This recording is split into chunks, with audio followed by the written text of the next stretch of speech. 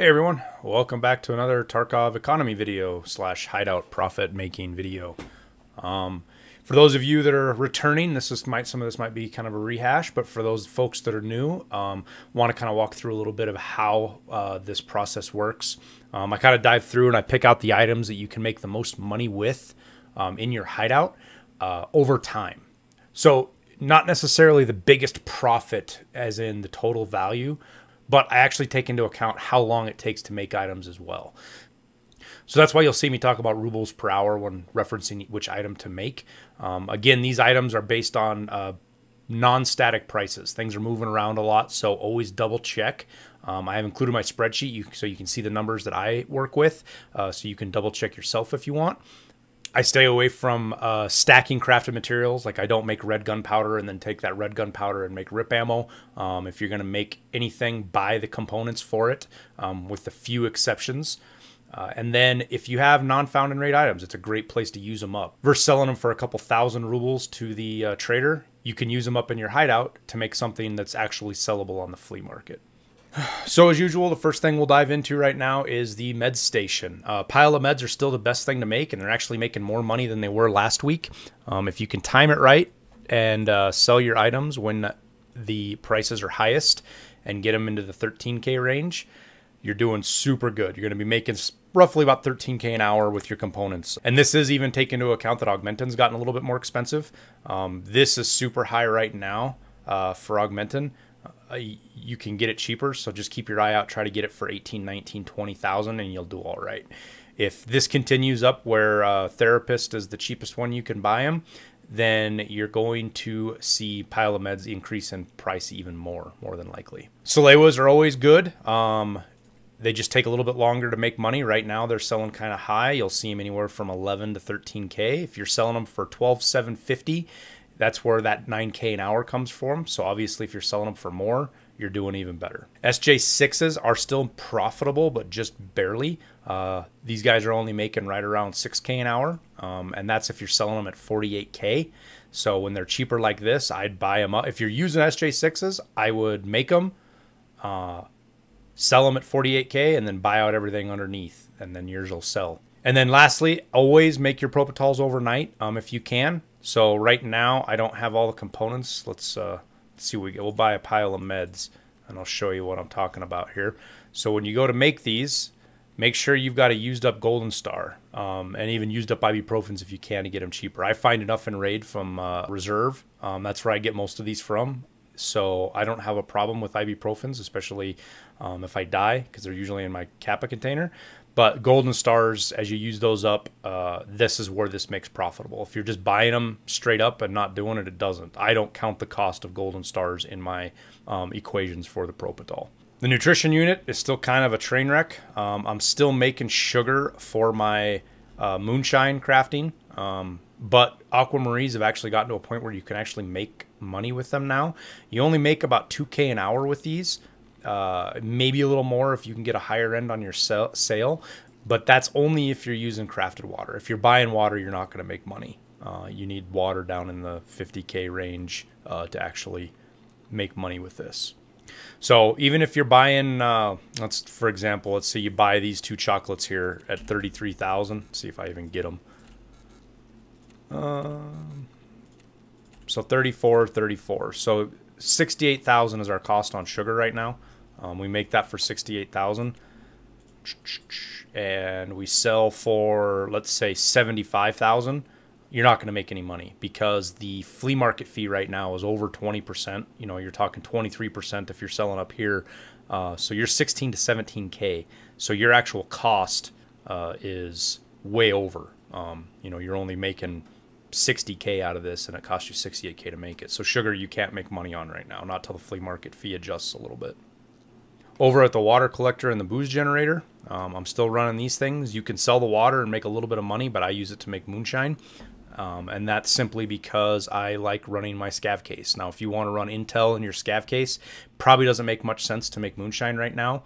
Um, with crafted water, you're only making about 6K an hour. Uh, so if you don't want to deal with the sugar and all the headache of this, I don't blame you. So the laboratory actually has a lot more options now. You can make money with scav backpacks pretty regularly. That's still what I'm making. You run around 10 to 11k an hour. You can make a little bit more if you get lucky and list them high.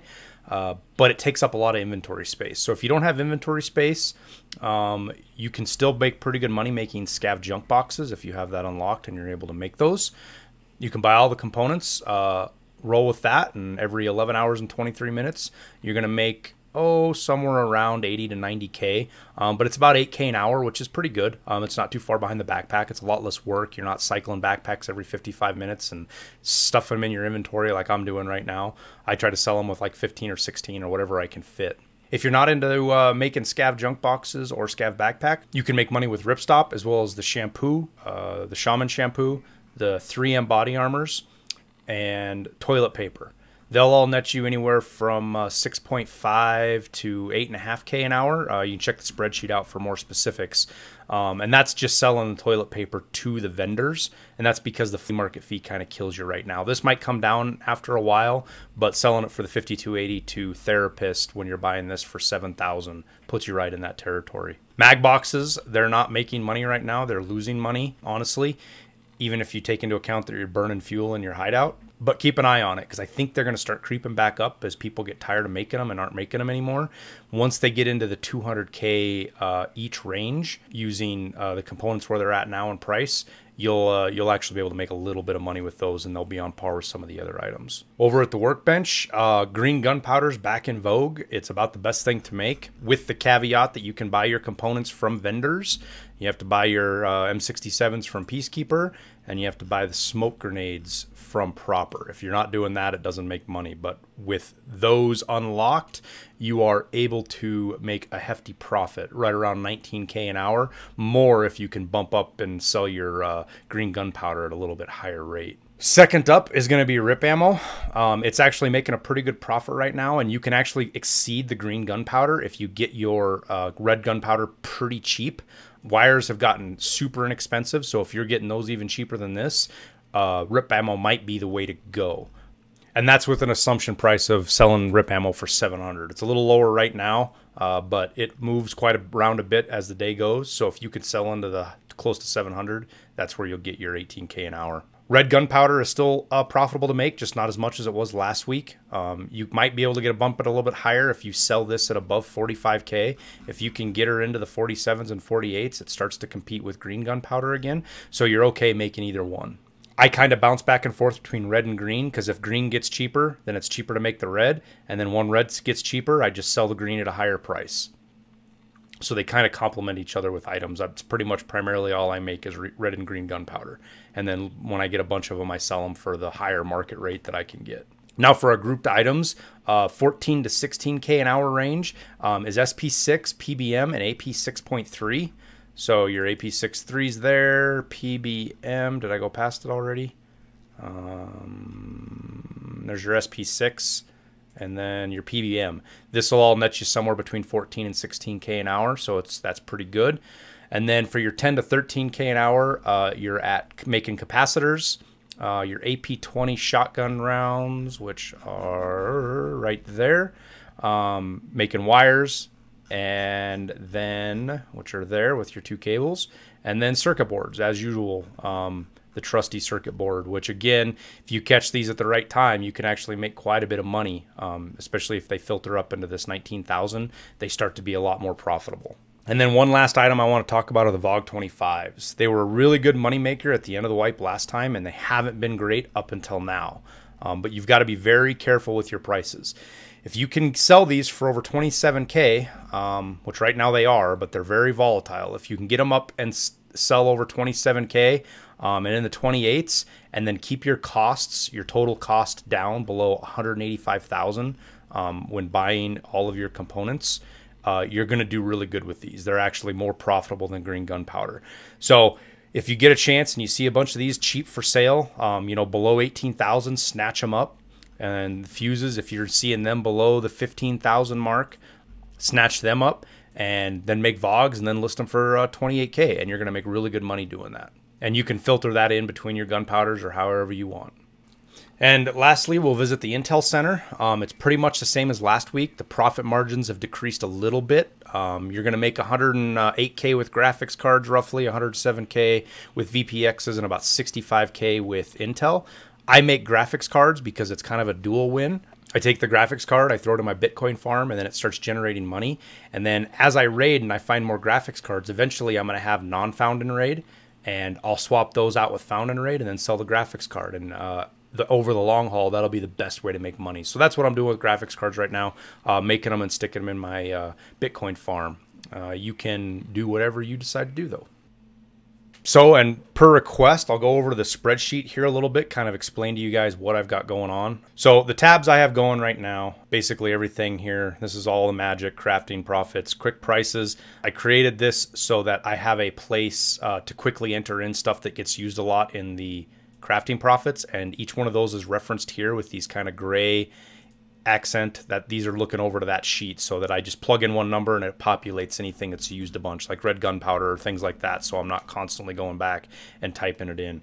These quick prices are part of how I check my stuff every day. Um, if I come in here and look at my flea market, I have my wish list set up and then I can just quickly uh, cycle through each item and see how they're doing without having to search or link search or do anything like that. It's all right there and available and ready. Um, the everything reference tat is just a future work looking to get basically prices for everything in here as a reference sheet. Uh, it's still a work in progress. So the green highlighted uh, items are kind of special cases like Fierce Hatchling Moonshine here. This is highlighted because it uses crafted water. So this is actually referencing this cell here. Um, and again, that's what uh, these peach colored uh, references are is it's referencing something on this page so you can see where it's referencing something. And that's again to save time and money. If i come in and type in purified water um, and that's the cost that it's selling. It'll automatically populate there. So that happens in a couple of places. Anything in yellow like this is a vendor price if you will. So condensed milk sells to the vendor for this and you'll see that. I guess i didn't highlight this one so we should probably highlight that one too. Um, that's why I don't have flea market fees because you're selling these directly to the vendor for that price. This isn't exact, it's close. I haven't sold one a little bit, but that's about what they sell for. And then I just have these to show uh, what's making money and what's not. Um, value per minute, uh, easy sort, and then this rolls into a value per hour on what you're making for profits. These are your component prices. I try to keep them in order of what they show up in the game, but that's not always the case. Um, and they also, uh, if there's like three, so for like folders of intelligence needs three thumb drives, I have that built into the equation already. So there's not three lines sorting through it. I have them broken up into each area so you can quickly sort by what you want. Um, right now I have zeros hidden because those are items that are stacked.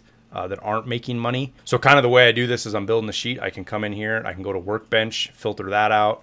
Then I can filter, uh, you know, sort by color, do this, and boom. And now we have everything in here uh, easy to look at, quick to find, and you can tweak prices as you want or go anywhere.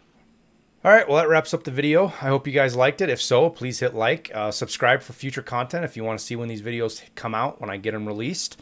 Um, if you have any questions, hit me up in the comments down below or come say hi on Twitch. I put a link to the spreadsheet down in the description in the comments, so you guys can go check that out directly if you want and play around with uh, however you want to do it. I'll update it every week, so you guys don't have to if you don't want to. And with that, I'll say see you later. Hope you're having good luck in Tarkov, and thanks for watching the video.